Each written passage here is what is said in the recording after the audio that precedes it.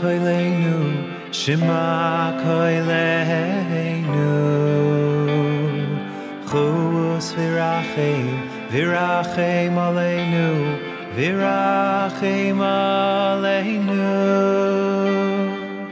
It's hard to believe, but Rosh Hashanah has come upon us once again. Soon we'll be standing in shul, in our synagogues all across the world. The shofar will be blasting, the chazan will be singing, the rabbi will be inspiring us, and we will be thinking the profound and beautiful thoughts about Rosh Hashanah. And there is a dual relationship that each and every one of us has with the Master of the universe, the Almighty Himself. On one hand, there's great trepidation. Hashem is Malkeinu, He is the King of the universe. He sits on His throne of glory, on the throne of judgment, and He examines carefully all of the deeds that we did this previous year. He knows which ones were done correctly. He knows where we failed. He knows when we tried our hardest. He knows when we didn't try hard enough. HaKadosh Baruch Hu knows everything. And that's frightening. But at the same time, Hashem is Avinu. He's our Father. And a father wants only the best for his child.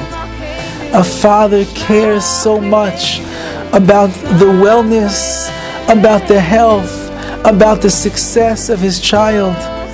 All that the father thinks about all day long is what can I do to ensure that my child is going to have the greatest, most peaceful, and rewarding, fulfilling life possible.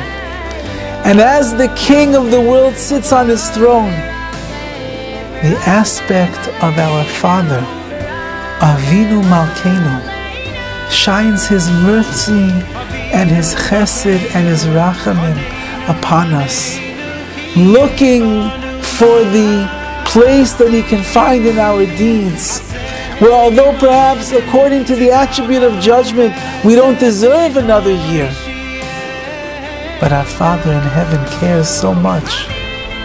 He wants so badly that we should spend another year of life together with Him, enjoying this beautiful world that He has made, engaging in the warmth of Torah and of mitzvahs, shaping our midos, our character traits, to become something that is outstanding and upstanding in society, to be a vessel that is going to bring our Father in heaven, the Holy Shekhinah, the Divine Presence itself, here into this world. So as we all stand together on Rosh Hashanah, and our thoughts are in the loftiest of places, and we are asking and pleading Hashem, Zachreinu L'chaim, remember us for life. Let's remember something very important.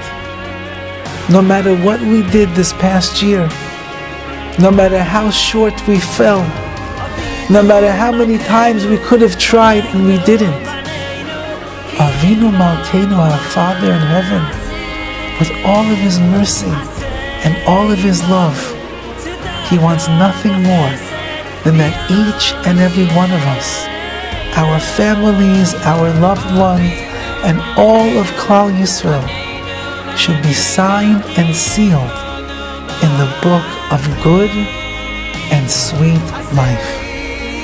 From everyone here at Makor Chaim, we are wishing you a Shana Tova Umasukah, a good and a sweet year. אבינו מלכנו